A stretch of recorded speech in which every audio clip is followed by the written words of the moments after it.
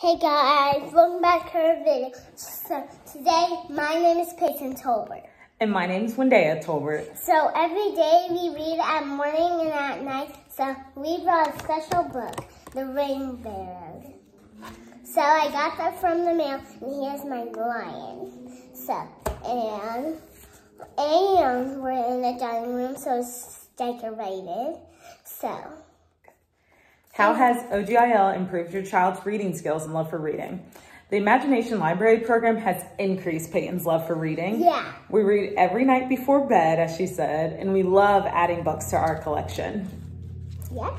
So, so today we we thought of a special another video to create of everyone.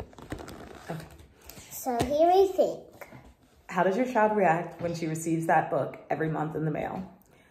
During the last few months, our families have actually been sending us mail, sending mail to Peyton specifically, so that she has things to open and it's just a token of like saying that they miss her while we hadn't been able to visit them, full of treats and gifts and clothes and you name it. So now that she's also receiving a book in the mail each month, she loves going to the mailbox to see if anything has her name on it and it just brings her so much joy.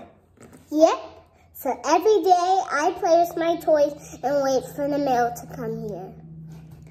Do you encourage other parents to sign up their children? I definitely encourage many other parents to sign up for the Imagination Library, especially since it's become free.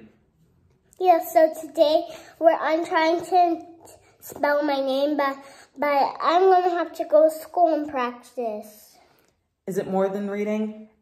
It is more than reading. For us, it's dedicating time together, having discussions about what we're reading, how things in the book may be similar or relate to things that are going on in our lives. And it's just amazing to see how much growth and knowledge that Peyton's obtained from reading every day. Yeah, and so today we brought the ring bearer and Snuggly Bear.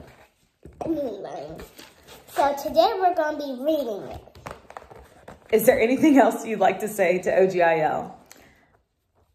To the Imagination Library, thank you for creating this program. We truly appreciate finding ways to connect with our children and also increasing literacy in the home. So, bye-bye, guys.